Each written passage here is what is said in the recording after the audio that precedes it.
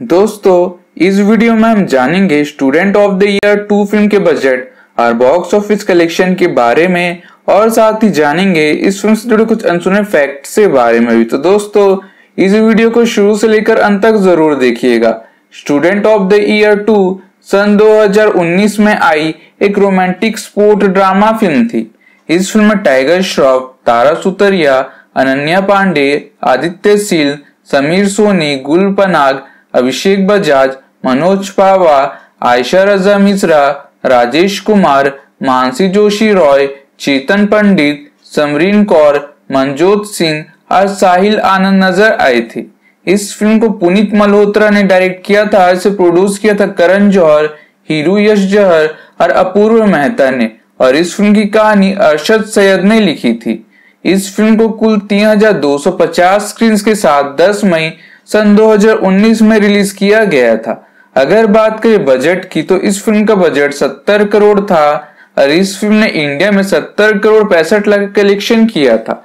आपको बता दूँ कि इस फ़िल्म ने अपने पहले दिन में 12 करोड़ का कलेक्शन किया था तो अपने पहले हफ़्ते में अंठावन करोड़ का कलेक्शन किया था। अगर वर्ल्ड कलेक्शन की बात करें तो इस फ़िल्म ने अंठानबे करोड़ का वर्ल्ड कलेक्शन किया था और फ़िल्म एवरेज साबित हुई थी। अगर बात करें इस फ़िल्म के आईएमडीबी रेटिंग की तो इस फ़िल्म को 2.3 रेटिंग मिले। और ये फ़िल्म सन 2019 की चौबीसवीं हाइस्ट ग्रोसिंग फ़िल्म रही थी। वहीं बात करें म्यूज़िक की तो इस फ़िल्म के म्यूज़िक विशाल शेखर ने दिए थे।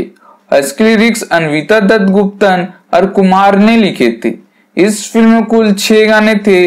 आज के कुछ गाने अच्छे हिट रहे थे। पर फ़िल्म का एक गाना द जवानी सॉन्ग ये गाना सबसे ज़्यादा पॉपुलर रहा था। वहीं बात करें अवार्ड्स की तो इस फ़िल्म के लिए अनन्या पांडे को बेस्ट डेब्यू एक्ट्रेस का फ़िल्म फेयर अवार्ड अज़ीज़ सिने अवार्ड मिला था।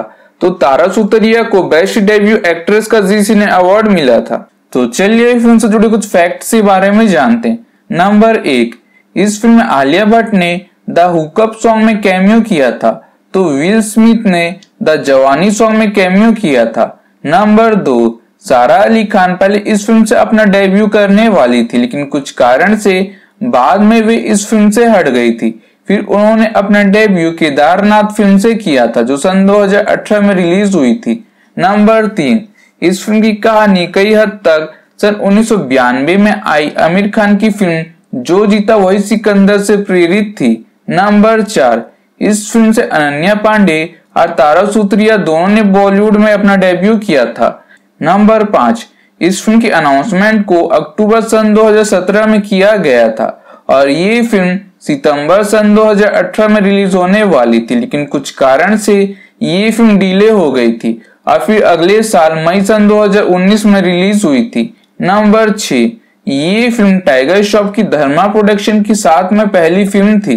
तो दोस्तों, आपको ये फ़िल्म कैसी लगी थी यार अब इस फ़िल्म को पाँच में से कितनी रेटिंग देना चाहोगे, हमें कमेंट करके ज़रूर बताइए। और वीडियो पसंद आए तो लाइक करे कमेंट करे शेयर करे और ऐसी बॉक्स ऑफ़िस के कलेक्शन और फैक्ट्स वाली वीडियो चाहते हो तो हमारे चैनल को सब्सक्राइब ज़रूर करिए और बेल आइकन प्रेस करना ना भूले ताकि हमारे वीडियो की नोटिफिकेशन आप तक पहुँच सके।